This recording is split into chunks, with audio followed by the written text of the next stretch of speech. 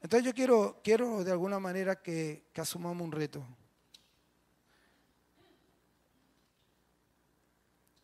Vamos a orar primero. Vamos a orar al Señor y le vamos a pedir su bendición. Padre, agradecido estamos a ti por estar delante de tu presencia.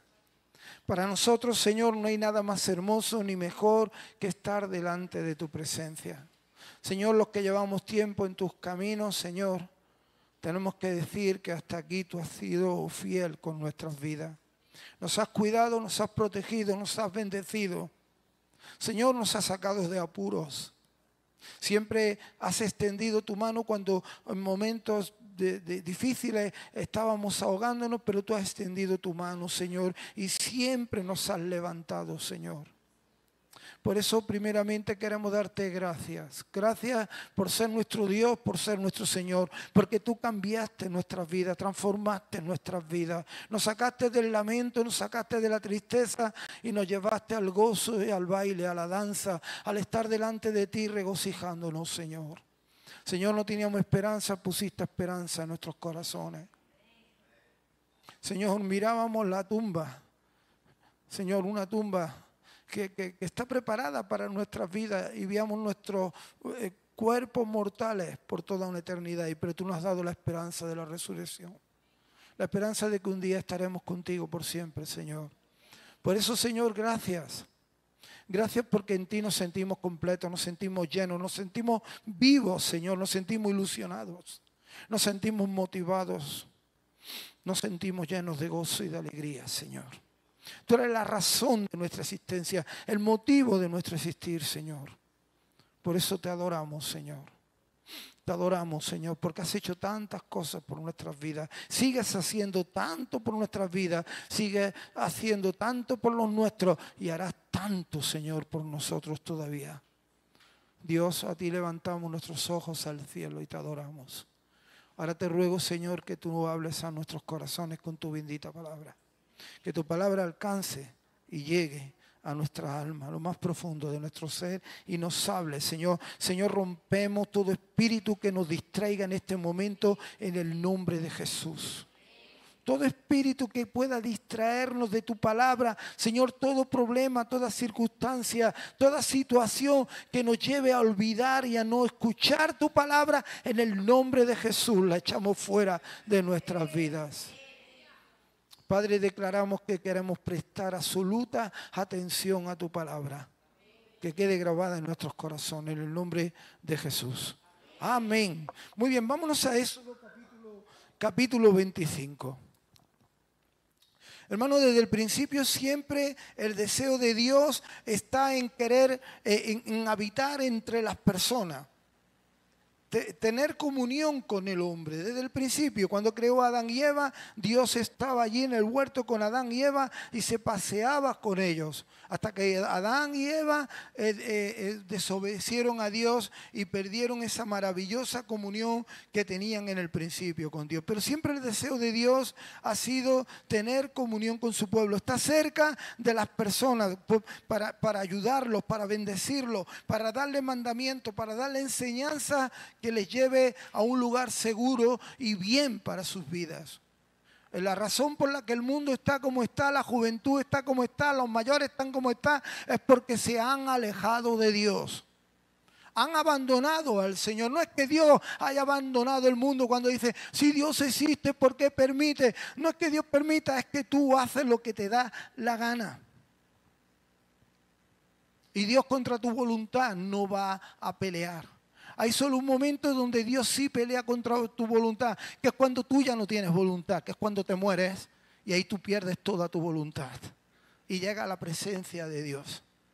Ahí tú no tienes voluntad de decidir, ahí solo decide el creador de todos. Pero ahora mientras estás en vida, mientras estás en este mundo, tienes la libertad de decidir, de elegir, de escoger. Tienes esa libertad por eso Dios dice, y predicar mi evangelio, ¿para qué? Para que el hombre oiga la buena noticia y pueda tomar una decisión con la esperanza que Dios pone en su corazón a través de la fe. Hermanos, todos, el deseo de Dios es que todos tengamos comunión con Él. Todos. Ese es el deseo de Dios. Y yo leyendo el libro de Éxodo, que ya lo he terminado, en el capítulo 25, versículo 1, dice, eh, perdón, versículo 8, dice la palabra del Señor lo siguiente. Haz que los israelitas me construyan un santuario para que yo habite en medio de ellos. Deberán construir el tabernáculo y su mobiliario exactamente según el modelo que te mostraré. Eh, cuando Moisés saca al pueblo de Egipto, ¿recordáis quién ha visto la película de Moisés, los diez mandamientos? Cuando Moisés saca a los israelitas de, de la esclavitud de Egipto, ¿qué ocurre allí? que empiezan a caminar por el desierto. ¿Por qué? Porque Dios les da una promesa, os llevaré a una tierra que fluye leche y miel. Y hay un proceso, un camino hasta que llegan a esa tierra. Como tu vida y mi vida, hay un proceso hasta que lleguemos al cielo. Y en este proceso Dios a veces permite que camines por desiertos. Porque Él ha de probar tu fe. Pero a la vez tiene que mostrar su fidelidad a sus promesas. A la vez Dios en el medio del desierto está mostrándote que aún te ama. Que Él te cuida. Que Él te guarda pero que te tiene que formar a través del desierto. Entonces Dios le dice a su pueblo, quiero que me levanten un tabernáculo, un santuario. Era, era, algo movible, como una tienda de campaña. ¿Por qué? Porque la voluntad de Dios era habitar en medio de su pueblo que su presencia estuviese en medio de su pueblo. Y desde allí Dios le daría a Moisés los mandamientos y la enseñanza que su pueblo necesitaba para caminar por la tierra. Porque todos necesitamos mandamientos y enseñanza. Si no estaríamos pegándonos tortazos unos a los otros. Si tú coges un coche y no hay señales de tráfico, te puedes imaginar. Harta idea. O por ejemplo, porque hay aquí gente que le gusta el fútbol, y yo lo sé, además que son del Madrid. ¡Wow! ¿Eh? ¿Tú también eres del Madrid? No me lo había dicho, Natalia. cada vez somos más. y cuando venga Mbappé, ya ni. Oh, cuando venga Mbappé, más seremos todavía. Eh, cuando nos gusta el fútbol, si no tuviésemos un entrenador, no tuviésemos alguien que tomara la dirección del equipo, ¿qué sería de ese equipo? Sería una, terrible. Porque cada uno querría gustar donde más le gusta y donde más nos gusta jugar es en el lugar que metemos goles. Seríamos todos delanteros. Yo he dicho al Señor, Señor, yo fui un fracasado en el fútbol. Jugué en un equipo federado allí en Barcelona en mis tiempos de, juventud. Pero como no podía darle de cabeza, más o menos veis las razones, rebalaba la pelota. pues fue un fracasado. Me decía el entrenador, dale de cabeza a Lorenzo. Y decía, le da usted, yo no le doy. no, realmente porque siempre he llevado peluca. Y claro, cuando saltaba y le daba con la cabeza, pues el balón iba para allá, la peluca para allá. Así que os podéis imaginar. Algunos goles los metía con la peluca. y tenía que ir a la rea por la peluca. Oh, qué desastre. En fin, las cosas son como son. Bueno, y si ya os contaré anécdotas de la peluca. Con la peluca se pasa muy bien. ¿eh? Ustedes, como no habéis tenido, no lo sabéis.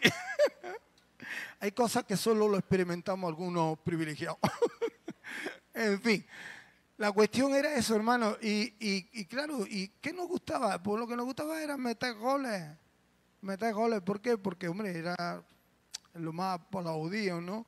Entonces siempre pues, nos gustaba eso, pero necesitamos orden en nuestras vidas. Entonces Dios dice y establece, le dice al pueblo, a Moisés, le dice, Moisés, mira, dile al pueblo que me construya un lugar, unas tiendas, un tabernáculo, como queramos llamarlo, pero un lugar donde yo pueda habitar, donde yo pueda estar en medio de ellos y darles palabras para que aprendan, para que caminen correctamente hasta, hasta siempre, para que anden conforme a mi voluntad y sobre todo para que le vayan bien.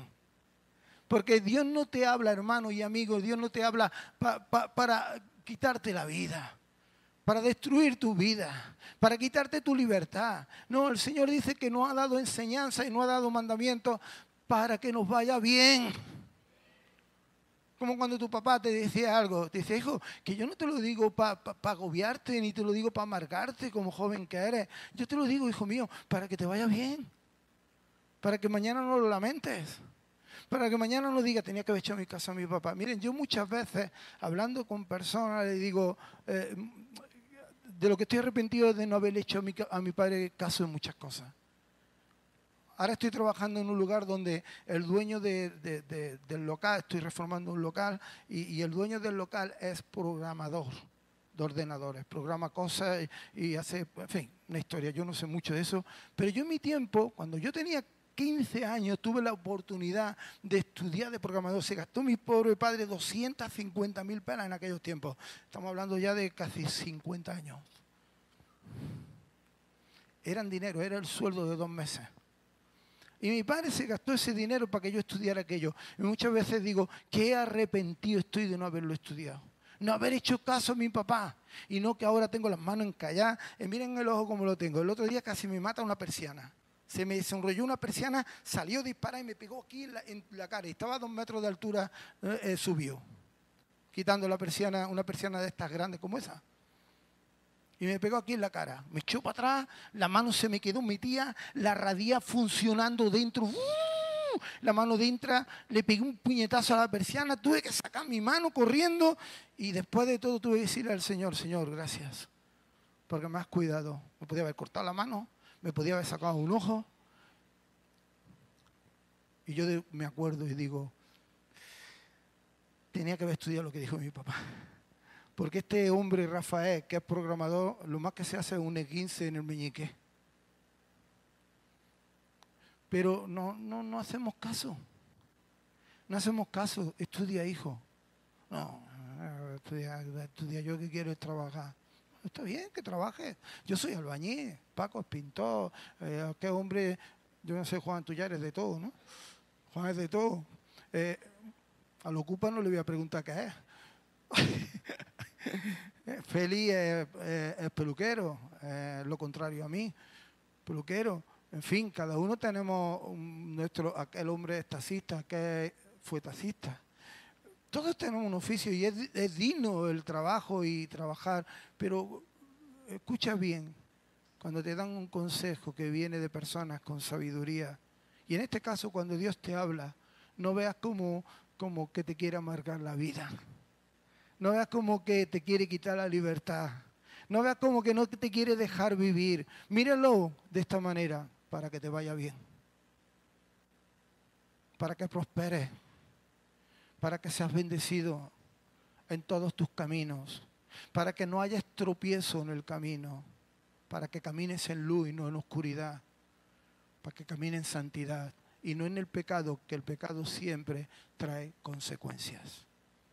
El pecado siempre trae consecuencias, siempre trae fruto para mal de nuestras vidas. Así que Dios le dice, ah, construyeme un tabernáculo, un lugar donde, donde, donde yo pueda habitar en medio de vosotros y desde ahí os voy a hablar. Yo quiero, hermanos, que nos vamos a ir de pronto a ese tabernáculo ya terminado. Vamos a al capítulo 40 eh, al capítulo 40, vamos a hacer un recorrido. Gloria a Jesús. Aleluya.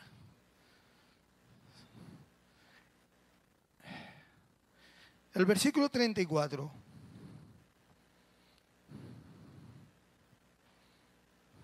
Primero vamos a leer, Rafa, perdóname, 39 y 43. 39 y 43. 39, 43. Eh, la nueva traducción viviente, Rafa. ¿Vale? ¿Correcto? Bien. Dice así la escritura. Luego Moisés revisó todo el trabajo cuando verificó que todo se había llevado a cabo tal como el Señor le había ordenado, los bendijo. Escuchen con atención. Acabaron de hacer el tabernáculo, hicieron la tienda y Moisés, que es el que había recibido las órdenes de Dios, directamente del Señor. el tabernáculo no se podía hacer de cualquier manera, sino como Dios le había mostrado allá en el monte. Cuando estaba mm, eh, Moisés, subió allí a su presencia, le había mostrado cómo tenía que hacer el tabernáculo. Es como si yo voy a hacer una reforma y me llega el cliente y me dice, mira Lorenzo, quiero aquí esto, quiero esto aquí, esto aquí, esto aquí, esto aquí, esto aquí. Y me muestra y me enseña todo lo que quiere hacer, pero conforme a su modelo, no porque yo soy albañil sino porque Él quiere que se haga así en su casa. Esto es lo que pasó. Moisés recibe la palabra del Señor y dice, yo quiero que se haga el tabernáculo de tal manera. Entonces Moisés como el encargado principal de la obra, puesto que a él se le había dado los planos, se acerca al tabernáculo y nos dice la escritura, revisó todo el trabajo, verificó que todo se había llevado a cabo tal como el Señor le había ordenado, no tal como a él le gustaba, no como él pensaba que era mejor o era peor. Él no llegaba allí y decía, eh, eh, vamos a hacerlo de tal manera porque yo creo que es mejor. Y desde el cielo la voz de Dios le decía, tú puedes pensar lo que quieras y está bien que pienses, pero las cosas se hacen como yo quiero, que soy el Señor. Y a veces tenemos que entender estos principios. Dios no va a hacer lo que tú y yo querramos que haga porque si no dejaría de ser el Señor. Él es Dios. Y Él ha establecido unos canos, ha establecido una ley, ha establecido unos límites, ha establecido algo en su palabra que tú ni yo podemos cambiar porque Él es Dios. Tú no eres Dios ni yo soy Dios. Él es el Señor. Y la palabra me dice a mí que tarde o temprano todos los hombres llegarán a la presencia de Dios, se postrarán de rodillas, quieran o no quieran, y tendrán que confesar y declarar que Jesús es el Señor. Entonces no se trata de lo que tú y yo querramos. A veces, hermanos, queremos que la iglesia, ay, es que a mí no me gusta esto, la iglesia, ay, que no me gusta lo otro. Y, cada uno, si, si mira, si, si Moisés tuviese, hubiese tenido que escuchar al pueblo de Dios y, que cada uno le dijera, ay, Moisés, mira, perdón, a mí no me gusta que la mesa de la propiciación sea así. A mí no me gusta que el altar de bronce sea así. A mí no me gusta que la, que la vestidura de los sacerdotes, yo quisiera que la... Se hubiese vuelto loco. Pero Dios le dio los planos a Moisés y Moisés estableció e hizo el tabernáculo como Dios le ordenó. Nuestras vidas no van a funcionar si vivimos a nuestra manera. Dios ha establecido que el día del Señor es consagrado para Él. Y a veces queremos que Dios nos bendiga y ni siquiera bendecimos el día del Señor. Hermanos, ni siquiera eh, establecemos en nuestra vida principios eh, cristianos que nos traen bendición. Mira, la escritura dice, eh, no, tenés tal costumbre como algunos tienen, que dejan de reunirse. Y a veces escucho yo a, creyentes que dicen, bueno, yo estoy en mi casa, yo leo la Biblia, yo oro, yo busco. Eh, no te lo crees ni tú. Ni tú. El Señor dice, no dejaros de congregaros, no dejar de reuniros como algunos tienen que, por costumbre, por mala costumbre. Dice, porque cuando os reunís, el Señor en ese lugar donde os reunís envía bendición y vida eterna. Hay una bendición especial cuando el pueblo de Dios se reúne. Hay algo hermoso que sucede cuando el pueblo de Dios se reúne en tu vida no por obligación, sino como obediencia por amor a Cristo. Hermanos, y a veces, hermanos, queremos vivir la vida cristiana a nuestra manera. Queremos que la iglesia sea conforme a mi gusto. Es que esto no me gusta. Yo haría esto así. Yo haría lo otro así. Y Moisés le llegó al pueblo y dijo, ya, te entiendo. Lo sé. Pero Dios me ha mostrado a mí que se haga así y no así. Y a veces, hermanos, tenemos que entender esos principios. Es como Dios muestra las cosas. No es como tú y yo queremos que sean, que es diferente. Y vamos a leer algunos principios. el versículo 34 del capítulo 40 dice esto.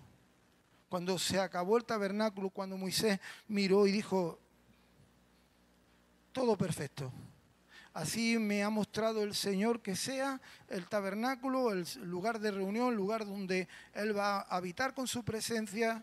Voy a mirar, las cortinas están perfectas, la mesa, el candelabro, el arca del pasto, las anillas, está todo perfecto. El altar, exactamente como Dios me ha mostrado a mí en el diseño original. Está todo perfecto. Dice que cuando Moisés lo verificó, en el versículo 34 dice, entonces, eh, perdón, el versículo 33 dice, después Moisés colgó las cortinas que daban forma al atrio, que rodea el tabernáculo y el altar. Por último levantó la cortina en la entrada del atrio. Así por fin terminó Moisés su trabajo. Versículo 34. Entonces, cuando se terminó tal como Dios había dicho y había mandado, entonces la nube cubrió el tabernáculo y la gloria del Señor llenó el tabernáculo. Moisés no podía entrar en el tabernáculo porque la nube se había posado allí y la gloria del Señor llenaba el tabernáculo. Hermano, yo anhelo que la gloria llene mi vida del Señor. Yo anhelo ser, como dice la palabra, lleno del Espíritu Santo. Pero no me va a llenar el Espíritu Santo en mi vida a menos que haga las cosas que Él dice que tengo que hacer a menos que haga las cosas como Él dice que tengo que hacerlas. Queremos que Dios nos llene con su espíritu. Queremos que Dios bendiga con su presencia mi casa. Queremos que Dios bendiga a nuestros hijos. Queremos que Dios bendiga nuestro trabajo. Su gloria solo viene cuando las cosas están hechas conforme al orden que Él ha establecido. Y queremos la gloria del Señor. Dice que cuando terminó el tabernáculo, descendió una nube del cielo que era esa nube, la gloria de Dios, y se llenó el lugar de su presencia. Si tú quieres estar lleno de la presencia, de la gloria de Dios, permíteme una cosa, que tu tabernáculo, que es tu cuerpo, esté en orden con Dios. Tú eres templo de Dios, dice la palabra. Dice que Él habita por la fe en nuestros corazones que ahora el Señor no busca un lugar donde habitar, sino el único lugar donde Dios quiere habitar en nuestras vidas. Este tabernáculo, este tabernáculo de carne. Ahora dice, yo soy, tú eres templo de mi presencia. Que esté este templo conforme al orden de Dios y será completamente lleno de la presencia del Señor. Así que yo veía esto, hermano, Mira el proceso, vamos a entender un poquito el proceso. Eh, eh, capítulo 31, vamos para atrás, hacemos un recorrido. No sé si me, me están entendiendo el mensaje, ¿lo están comprendiendo? Bien, capítulo 31, mira el proceso para hacer el tabernáculo. Dios coge a Moisés y le muestra los planos. Hasta ahí hemos llegado, ¿no? Bien, le muestra los planos del tabernáculo. ¿Para qué el tabernáculo? Punto 2, para vivir Dios para habitar Dios allí en medio de ellos. ¿Por qué? Porque Dios quiere habitar en medio de su pueblo. ¿Para qué? Para enseñarle sus mandamientos, sus enseñanzas. ¿Con qué propósito? Para hacernos bien. ¿Vale? Hasta ahí, clarito. Me he explicado, ¿no? Bien. Pero, ¿qué proceso usa el Señor? Él es, podía haber hecho así un chasquido de los dedos o incluso enviando su palabra como creó el mundo. Él dijo, hágase la tierra. Y se hizo la tierra. Hágase el universo. Y se hizo el universo. Hágase las plantas. Y se hizo las plantas. Hágase los animales. Y se crearon los animales. Toda la creación fue hecha por el poder de su palabra. Sin embargo, en este caso, no. En este caso, Dios usa hombres. Dios usa hombres y mujeres. Mm. Estaban ahí por ahí algunos dando palmas con la oreja. Pues no. Dios usa también mujeres. ¿Vale? Bien, vamos a leer versículo el capítulo 31. Donde nos pone Besalel y Auleá. Buenos nombres para nuestros nietos y nuestros hijos. Imagino mi pequeño Marco. Besalel. Ven para acá. Bueno, dice, luego el Señor, versículo 1, capítulo 31, versículo 1, luego el Señor le dijo a Moisés, mira Moisés, está hablando Dios cara a cara, ¿recuerdan cómo le hablaba Dios a Moisés? Cara a cara. Cara a cara. Hubo dos personas que criticaron a Moisés. ¿Quién criticó a Moisés? ¿Quién murmuraba contra Moisés? ¿El vecino del cuarto? Su hermana y su hermano. Su propia hermana y su propio hermano Murmuraban de Moisés. Se iban al pueblo y chimorreaban de su hermano. Tremendo.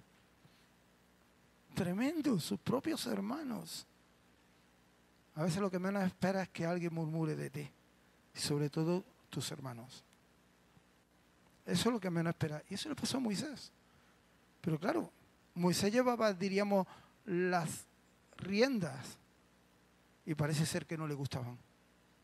Entonces, lógicamente, ellos, posiblemente fuera envidia, fueran celos, no sé lo que sería, pero no cabe duda de que Dios los castigó. Y duramente. Y duramente.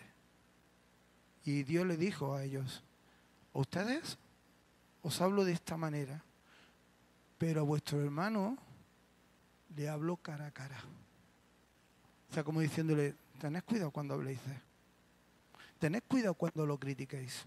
Tened cuidado cuando murmuréis de porque con él yo hablo cara a cara. Y aprendieron la lección. Bien aprendido. Así que dice, mira, he escogido específicamente a Besalel, el hijo de Uri y nieto de Ur, de la tribu de Judá. Miren para hacer la obra de Dios, para hacer el tabernáculo. Lo he llenado del Espíritu de Dios. ¿Pero son las campanas tarde? Ah, pero, son las campanadas de, la Navidad ahora. ¿Qué, eh, Pilar, perdona, ¿qué lo ocupa? ¿El ocupa sí? madre mía. Madre mía.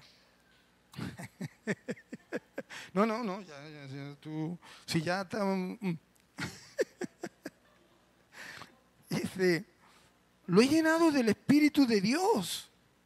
Le he dado gran sabiduría, capacidad y destreza en toda clase de artes manuales y oficio. ¿Qué nos dice la escritura de alguien que va a trabajar en la obra de Dios? ¿Cualquiera? A veces, hermano, eh, tenemos que aprender principios.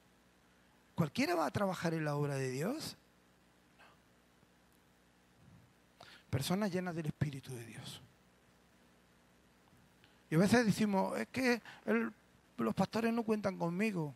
Primera pregunta, que te tienes que hacer tú, evidentemente no lo hacen los pastores. ¿Estás lleno del Espíritu de Dios? Recordar cuando los apóstoles y el primer problema que hubo en la iglesia, y lo digo aquí otra vez, lo repito y lo repetiré, la iglesia siempre habrá problemas. en grupitos pequeños como nosotros, y ya no digo, ya no digo en, iglesias grandes, ya no digo en iglesias grandes, pero siempre va a haber problemas. Siempre, siempre eh, dice la palabra esto de los hermanos que se quejaron cuando en el tiempo de los apóstoles, tipo los apóstoles, hermano, increíble, la iglesia perfecta. Dice, y había entre ellos descontentos. Siempre en la iglesia hay descontentos. ¿O qué pensáis? Los que llevamos ya muchos años vemos, no por estas puertas, por otras puertas, vemos entrar y salir.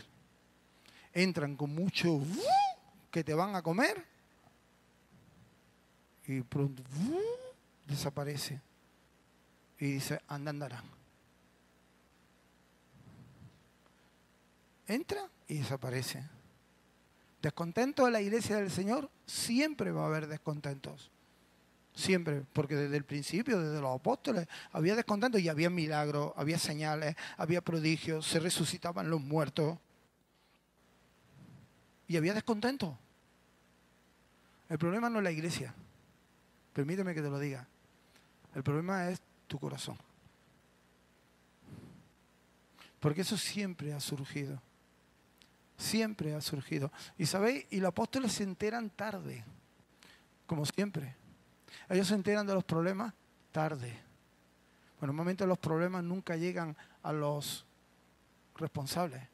Los problemas primero llegan al corrillo. Mm. Del corrillo pasa al corrillo más grande. Del corrillo más grande al otro un poquito más grande. Cuando llega el pastor, ya hay un fuego. Ya se ha incendiado una llama. Pero el problema es siempre, no somos perfectos. No somos perfectos. Si ya Jesús tuvo el pobre que lidiar con ellos. Si Jesús tenía más que doce, fue la iglesia más pequeña del mundo. Bueno, no, hay otra más pequeña todavía. Pero bueno, fue la más pequeña del mundo. Doce. Y, los tenía siempre enfrentados. Eh, eh, Pedro con su altivez, el más listo del mundo. Señor, estos te van a negar, pero yo no. Y los otros mirándole, eh, pabilado. ¿Qué pasa? ¿Que tú eres mejor que nosotros? Los otros, mm, podemos sentar uno a tu derecha y otro a tu izquierda. Espérate, mamá, díselo tú. Era un caos, un caos. Y Jesús estuvo, estuvieron, estuvieron tres años con Jesús. Tres años. Y no espabilaron. A los tres años cogen a Jesús preso, se lo llevan para la cruz y de pronto aquel que dijo que no lo iba a negar fue el primero que negó. Escúchenme, y maldiciendo. Dijo hasta palabrota, Pedro. Muy Pedro. Ay, Pedro. San Pedro. Hasta palabrota. Cuando lo pillo yo en el cielo se va a enterar ese. Yo enseñando a mi hija buena educación. Ella va y me pone ahí unos tacos. No. ¿Y, los otros dónde estaban? Dice que cuando cogieron a Jesús preso salieron todos corriendo. ¿Qué pensáis? ¿Que es mejor la iglesia de ahora que la de entonces? ¿Que la tenía Jesús? ¿Y acaso nosotros somos mejores que Jesús? Siempre la iglesia del Señor va a haber descontento. Encontramos a Moisés, pobrecito saca a, 2000, a 600 mil personas de, Egipto. Y en el camino tenemos sed. ¿Qué, yo haga? vamos a buscar por aquí un bar a ver si venden unos refrescos. Tenemos sed, tenemos hambre, nos has traído aquí para matarnos. Mejor no hubiésemos quedado en Egipto. Y ya no es Dios, ya no es el que se queja, Moisés, ya es Dios el que se queja. Dice, mira, Moisés, apártate. Vimos el martes que le dijo Moisés, Moisés, quítate de en medio. No te pongas en medio, que voy a exterminar este pueblo. Quejoso. Siempre quejoso. Hermanos, salimos de Egipto para servir al Señor. Salimos de Egipto para anunciar al Rey de Reyes y Señor de Señores. No salimos de Egipto para quejarnos. En el mundo teníamos, eh, yo le decía hoy a, Miguel, están aquí sus hijos, no se lo digáis. se lo decía él. Bueno, él no puede estar, ah, bueno, que sepan que no están, está aquí Miguel, eh, porque eh, esta noche tiene que viajar y tiene que ir para Huelva, ¿vale? Bien, pero yo le decía, hay que ver lo que, lo que trae la vida cristiana, Miguel. Cuando estábamos en el mundo, no íbamos a la discoteca, ni dormíamos, nos poníamos de porro hasta aquí. Y el tío a las 6 de la mañana trabajaba. No veía nada, pero iba a trabajar. Llegamos al Señor. Pastor, muy tarde. Es hora de acabar el culto. O sea, es, es, es la antítesis. ¿Verdad? ¿Cierto o no? ¿Verdad? ¿Eh? ¿Eh? Tú que en el mundo lo sabéis, ¿verdad? ¿Verdad? No nos cansábamos. Yo salía a las 6 de la tarde de trabajar de la obra, harto de poner azulejos. Me iba a correr, después me iba a jugar un partido de fútbol. Me iba a jugar un partido de fútbol y no estaba cansado. Nunca estaba cansado. Y llega el Señor, eh, mañana hay una reunión. Uf, es que tengo muchas cosas que hacer y se queda pensando a ver qué cosa va a hacer. En el fondo no hay ninguna. Buscando algo. Es cierto, hermanos, nos convertimos al Señor y de pronto estamos en el mundo y, nos movemos y nos esforzamos. Ya les digo, yo salía de trabajar y, llegaba a mi casa y me ponía en mi chanda 14 kilómetros y se corría el tío. Es para un partido de fútbol y no pasaba nada. Y el fin de semana la discoteca, Sensi Club. Lo único... Lo único bueno que he sacado de Sensi Club es mi Joaquina.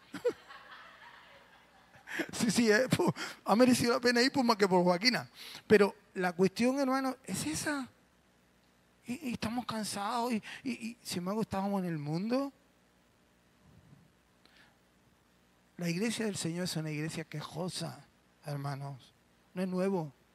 No hay ninguna novedad. No es nuevo. Siempre hay algo que no nos gusta. Yo tengo una frase Para mí es muy importante. Y la, voy a leer. Para mí es una frase que me ha perseguido toda mi vida y, no la voy a, y no la voy a nunca rechazar. Para tener éxito tengo que estar dispuesto a fracasar.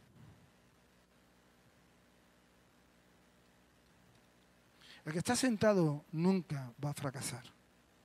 El que no hace nada nunca va a fracasar. El que no se mueve nunca va a fracasar. El que no sirve nunca va a fracasar. Entonces, para tener éxito, para ser bendecido, tenemos que estar dispuestos a fracasar. Así que el Señor escoge a qué?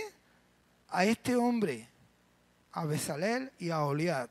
Dice, a esto lo he llenado del Espíritu de Dios y le he dado gran sabiduría, capacidad y destreza en toda clase de artes manuales y oficios. Es un maestro artesano, experto en trabajar el oro, la plata y el bronce. Es hábil en grabar, en incrustar piedras preciosas y en tallar madera. Es un maestro en todo trabajo artístico. Versículo 6. También he designado personalmente a Oliá, hijo de Isamá, de la tribu de Dan, para que sea su ayudante. Además, he dotado, he dado, le he dado habilidades especiales a todos los expertos artesanos para que puedan hacer todo lo que he mandado construir.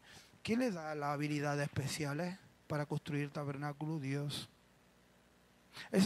así tiene que comenzar la obra de Dios. Personas que Dios ha dotado, primero llenas del Espíritu. Primer punto, llena del Espíritu de Dios.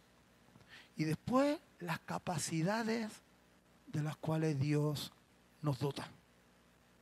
Ahora hay un camino, hermanos. Aquí Dios interviene milagrosamente en sus vidas. Pero hay un proceso que es más fácil. Que no necesitamos un milagro de parte de Dios para servirle, porque hoy el Espíritu de Dios quiere habitar en cada uno de nosotros. Vámonos a Timoteo, capítulo, capítulo 3. Timoteo, capítulo 3.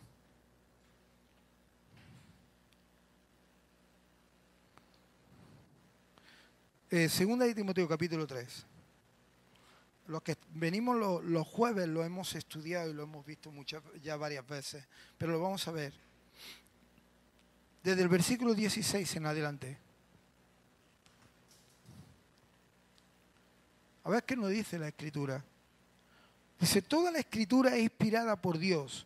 Es útil para enseñarnos lo que es verdad, para hacernos ver lo que está mal en nuestras vidas. ¿Lo tienes ahí, no, Rafa? Bien. Es, toda la escritura es inspirada por Dios, es útil para enseñarnos lo que es verdad y para hacernos ver lo que está mal en nuestras vidas nos corrige cuando estamos equivocados y nos enseña a hacer lo correcto. Y Dios la usa, escúchenme bien, Dios la usa, este libro, para decirlo. La usa para preparar y capacitar a su pueblo para que haga toda buena obra. ¿Cómo Dios te capacita? A través de su palabra. Y a veces, hermanos, queremos estar capacitados para servir al Señor y ni siquiera leemos su palabra. Estamos queremos estar capacitados para servir a Dios y ni siquiera vamos a un estudio bíblico. Ni siquiera cogemos un buen libro cristiano y nos ponemos a leerlo para aprender pero sobre todo, principalmente, queremos estar capacitados para servir al Señor y no leemos la Biblia. Si no, no. Y la palabra de Dios dice que la palabra de Dios es la que me capacita para qué? Para hacer la obra de Dios. Quiero servir al Señor. Tienes que estar capacitado. Tienes que estar capacitada. Tienes que estar preparado, tienes que estar preparada. ¿Y qué es lo que te prepara? La escritura. No es que Dios haga con una varita, ¡pim! Cierto que Dios reparte dones, pero la capacidad para edificar la obra de Dios viene a través de la escritura. Y muchos dirán, anda que no insiste en nada en, lo de en la Biblia, pero es que es verdad. Es que es verdad. Como ha dicho Paqui, ¿cuántas verdades dijo esa mujer ayer? Pero es que no hay otra. A estos hombres Dios los capacitó. Lo primero que hizo fue llenarlos de su espíritu. Y después dotarlos de capacidades especiales para hacer la obra. No hay otro proceso, hermano. No se puede servir al Señor desde la comodidad o desde el deseo. Es que deseo servir al Señor. Es que anhelo servir al Señor. Mira, Pablo le dijo a Timoteo, si alguno de entre ustedes, de los que hay entre ustedes, desea obispado, una palabra, ser alguien que sirva, que ministre, pastor, profeta, un ministerio que quiera servir, le dijo, buena obra desea. ¿Veis? Buena obra desea. Pero, ahí está. Pero es necesario que tales personas, y habla de algunas características. ¿Veis? ¿Y cómo se adquiere esas características en el carácter? La palabra, que es la que te corrige, que es la que te enseña, que es la que te dice lo que está mal en tu vida, que es la que te dice lo que tienes que hacer y no debes hacer. Es la palabra. Y es la que te capacita para servir al Señor. Mira, nosotros en el transcurso que llevamos en la iglesia, sabéis que llevamos muy poco tiempo en esta iglesia, realmente quizás somos de la iglesia más jóvenes, o por no decir la más joven de Córdoba, de empezar de cero hemos visto personas que, bueno, que han venido con mucho deseo de servir y de estar y queremos hacer y, y allí pum y pan y pin. Pero, ¿qué, ha ocurrido? ¿Qué ha ocurrido con ellas? ¿Dónde están hoy? ¿Por qué? Pues sencillamente porque no estaban capacitados. Su carácter no estaba preparado. Porque había más queja en su boca que servicio. Había más señalamiento hacia las cosas que no le agradaban que amor. Había más prisa porque las cosas salieran como ellos querían que paciencia. ¿Entendéis? Y la palabra de Dios nos enseña, hermanos, que si somos capacitados, somos capacitados por la palabra del Señor. Seguimos, vamos a seguir leyendo un poquito y, esto va a ser ya rápido. Mira, el Señor le dice a Moisés cómo tiene que hacer distintas cosas en el tabernáculo. El arca del pacto, allí se guardaba las tablas del maná. ¿Y qué otra cosa se guardaba con el tiempo? La vara de Aarón. ¿Vale? Sabéis que Aarón llevaba una vara. Y allí empezaron a disputar entre los israelitas quién sería el sacerdote o quién, quién, eh, ¿con quién estaba Dios? Entonces eh, Dios les dijo, les propuso, bueno, que cada uno de la tribu coja una vara. Y la vara, la vara que florezca la flor de almendro, ese será el escogido por mí. Y la vara de Aarón floreció flor de almendro. Y ese fue el escogido por el Señor, que fue la famosa tribu de Leví, que después más tarde, pues ellos no heredarían ningún tipo de tierra, pero sí heredarían lo, más, lo principal, servir al Señor en el templo. Toda la tribu de Leví.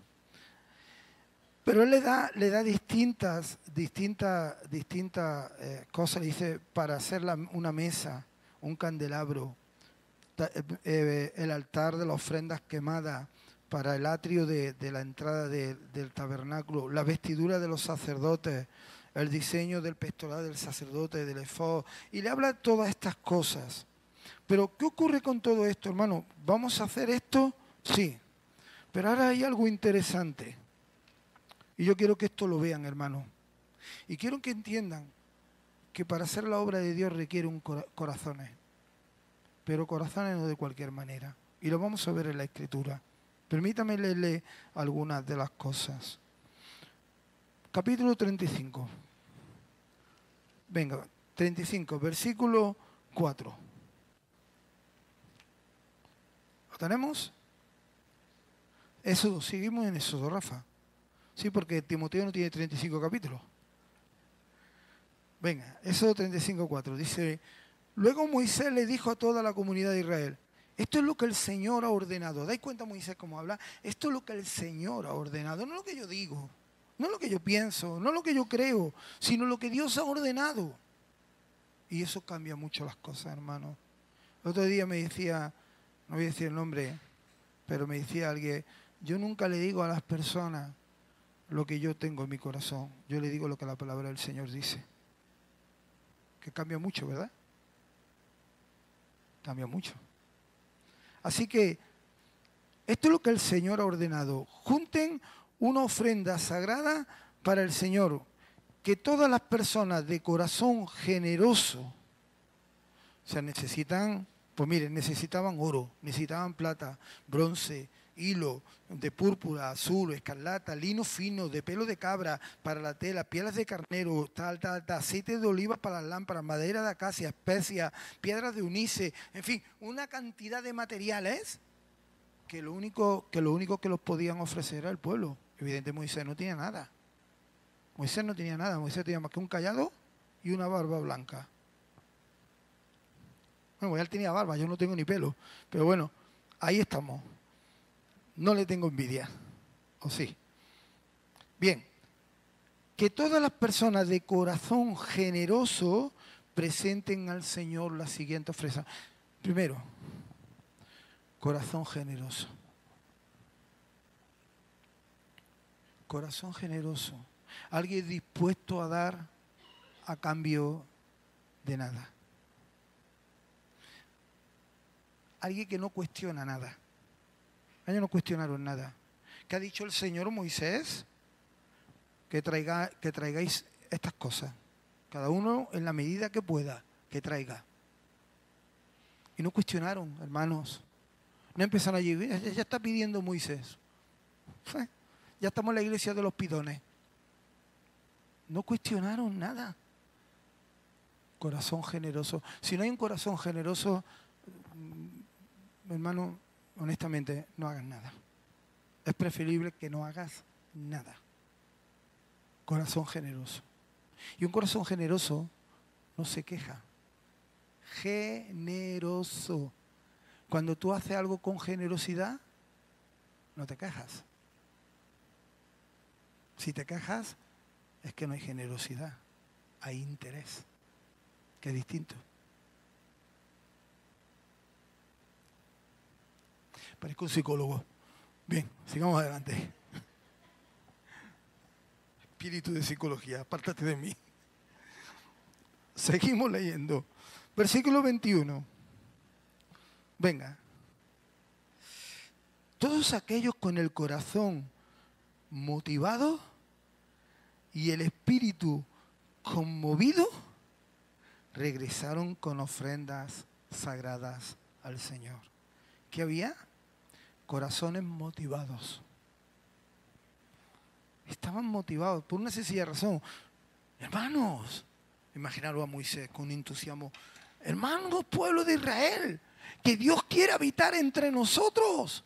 Y ah, no me digan Moisés, entre nosotros, sí, entre nosotros. Vamos a hacerle una tienda, algo donde quiera, donde pueda habitar. Y allí todos, no, no, de verdad que va a habitar Dios en medio de nosotros. Y todos con entusiasmo, motivados, porque la presencia de Dios iba a descender en medio de ellos. Motivados, porque querían la presencia de Dios en medio de ellos. Hermanos, si una buena motivación, mi consejo, no hagas nada. Si tú no estás motivado por lo que vas a hacer para que la presencia de Dios se manifieste, de verdad, no hagas nada. Motivados, porque ellos querían la presencia de Dios. Y eso les motivaba a unirse, a estar como si fueran uno solo en el pueblo que hay que traer oro. Yo tengo oro, pero ¿qué tiene? Un anillo. Pero es poco, no importa, sumamos. Tengo, yo tengo madera de acacia, Moisés. Ah, pues estupendo. ¿Qué tiene? Una tablilla. Pero es, poco. No, trae. Sumamos. Porque todo lo que tú traigas a la presencia de Dios suma. Aunque sea poco. Siempre sumas. Pero si no traes nada, resta. Señor le dijo a Pablo le dijo a la iglesia de Corintios, le dijo, cuando reunís, cuando juntáis, ¿qué traéis? ¿Traéis canto? Cantad. ¿Traéis salmos? Hablad. Pero que cuando reunís, traes cosas para edificar a la iglesia. Como dice un hermano mío, yo vengo a la iglesia a remar, no a echar el freno. Amén. Yo vengo a remar, yo no vengo a echar el freno.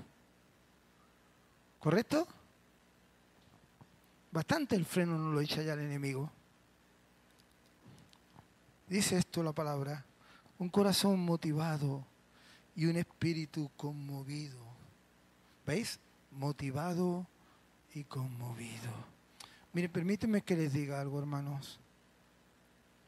Saben, por norma general, por norma general, entre comillas, no, no, no, no es bueno juzgar, pero normalmente ahora llega la Semana Santa y la gente se reúne tras las imágenes con el único propósito de promesas, de pedimentos y de recibir no se juntan alrededor del Señor a alabarlo, adorarlo y exaltarlo. ¿Saben? La iglesia del Señor a veces cae en ese error también. Venimos a la iglesia porque a veces Dios se conmueve, ve mi actitud y de alguna manera me compensa. Un grave error si voy al culto tal y voy al culto tal, miren, yo he conocido personas que el hecho de tener una Biblia piensan que es un talismán, que le va a venir bien las cosas. Pastor, deme usted una Biblia. Deme usted una Biblia. Pues ni la leen, porque piensa que es un talismán. ¿Por qué? Porque su motivación no es correcta. No han sido conmovidos en el espíritu por Dios. Y si han sido conmovidos rápidamente han acallado el espíritu. Si tú vienes a la iglesia para que te vaya, de alguna manera, te solucione el Señor las cosas, te vas a llevar capalo. De verdad te lo digo en serio. Te vas a llevar cada azote de parte de Dios enorme. Te van a ir peor. Cada vez peor. Pero si tú vienes a la iglesia buscando la presencia del Señor, porque el Señor te amó en esa cruz, murió por tus pecados, resucitó por tus pecados, ascendió a los cielos y está a la derecha de Dios por tus pecados, volverá por tus pecados, te irás con Él por tus pecados.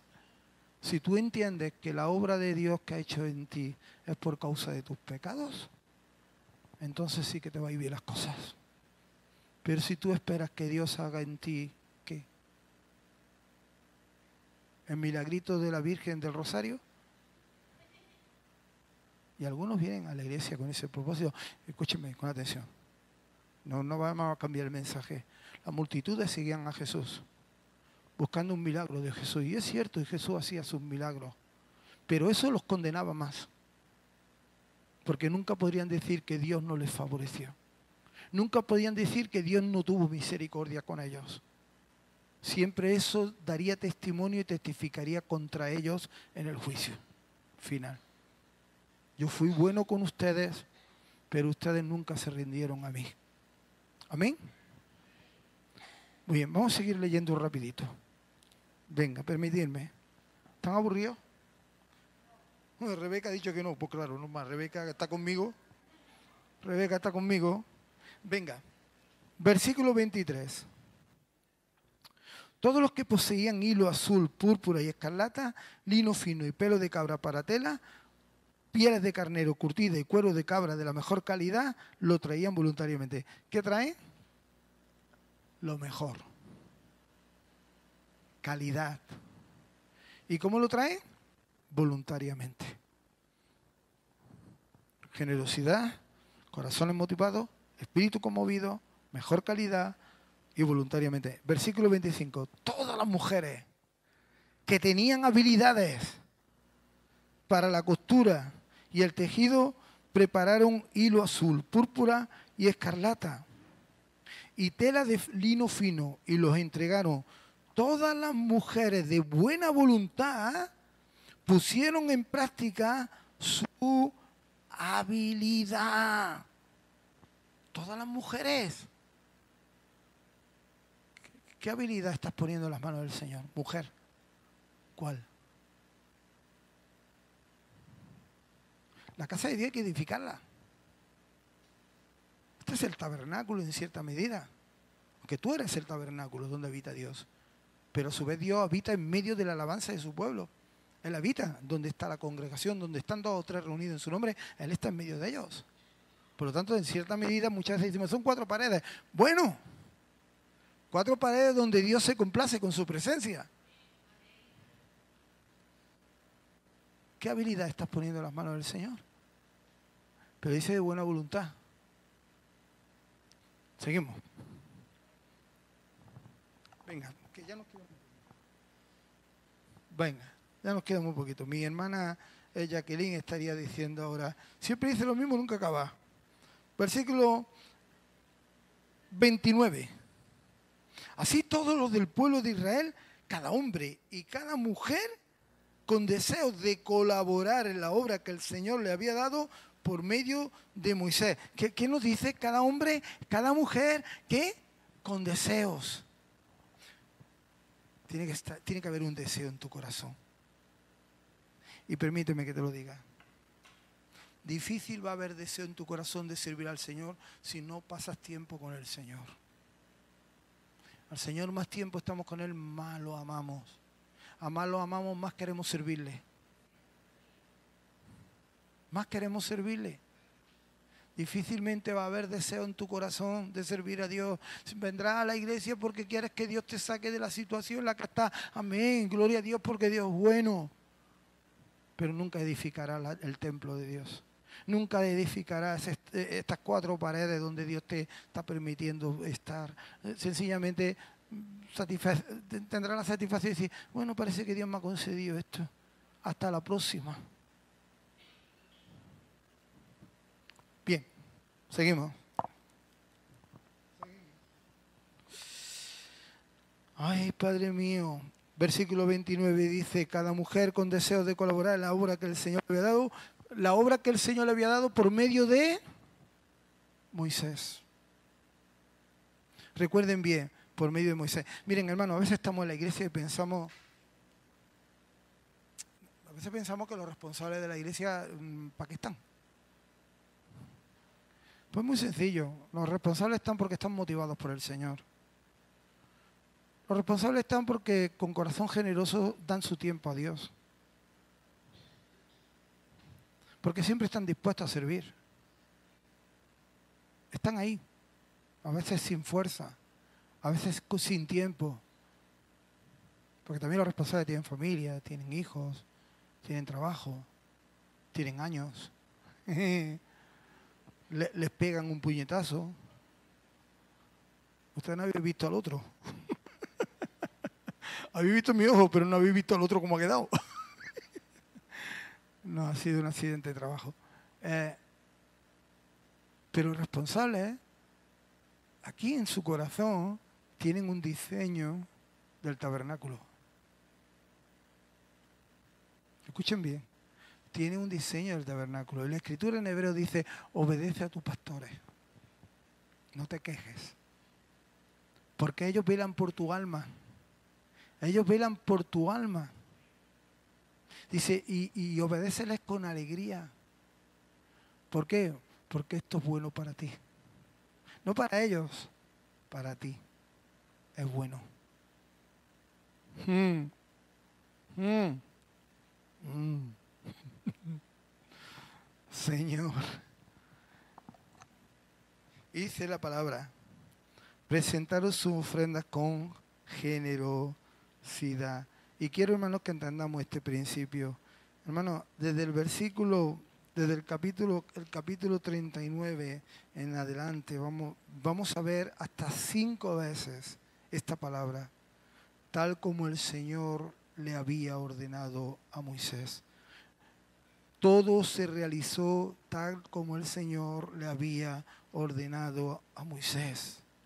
Todo se hizo tal como el Señor le había ordenado a Moisés. Todo se realizó tal como el Señor le había ordenado a Moisés. Y cuando todo se acabó, Moisés revisó el trabajo y vio que todo se había realizado conforme al modelo que Dios le había mostrado. ¿Os imagináis un pueblo diciéndole a Moisés cómo tenía que hacer el tabernáculo? Pues eso ocurre en la iglesia del Señor. Eso ocurre. Yo llevo 38 años en Cristo y siempre ha pasado. Siempre ha ocurrido y no va a dejar de ocurrir. No va a dejar de ocurrir que siempre es que a mí, es que a mí, es que a mí. Tal como el Señor le había ordenado a Moisés, así se edificó el tabernáculo. Amén. Sí que quiero que se quede esto en el corazón. No sé si de alguna manera esto ha retado en algo vuestras vidas o, ha, salido a la luz algo que había en vuestros corazones, eh, en algunas cosas que hubiera ahí oculto, que, que está ahí y Dios lo ha sacado a la luz. Pero hermano, qué importante es que entendamos que Dios quiere habitar en medio de nosotros y no quiere habitar de cualquier manera. No de cualquier manera. Miren, hoy somos poquitos o somos muchos, depende cómo lo miremos. Depende cómo lo miremos. Faltan algunos hermanos, evidentemente, pero hoy somos poquitos. Pero si Dios nos permite crecer, hermanos, tenemos que crecer de tal manera que edifiquemos a otros, que bendigamos a otros. Que no que el que venga y te diga, ay hermano, a mí no me gusta esto que está pasando aquí. Y tú le puedas decir, ¿cómo? Venga, cógete el remo y arremá. Corre, tírale. Eh, sí, pero quiero decir con esto, eh, eh, no quiero que, entremos en un debate, no es importante, pero sí que es importante que entendamos que, que hay que construir el templo. ¿Qué ha sido eso? Ángela, gracias porque, escúchame, has despertado a la iglesia. Pues estaban todos... Gracias. No, no hay problema. Eh, ya te habrás dado cuenta que tenemos mucho sentido de humor, ¿verdad?